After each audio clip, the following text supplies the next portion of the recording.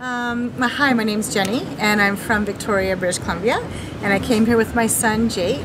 A very dear friend of mine that I've known for a long time, named Mike, has been coming here for years. And um, not that long ago, probably only about eight weeks, six or eight weeks before we came, he called up and said, "Do you want to join me in Nicaragua?" And I said, of course, and I'd been wanting to have an adventure with my son. And Mike didn't fill me in. He didn't give me a lot of information, and I didn't want to ask a lot of questions, so we really came not knowing what to expect. And what we found was something pretty incredible.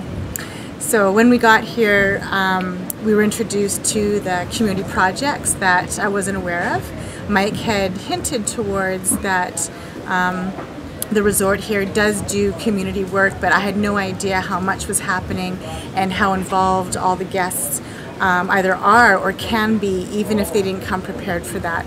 So Jake and I were swept up and included in everything, and it made um, it made our visit an absolute incredible adventure um, that I'm just thrilled about, and I hope to come back again someday.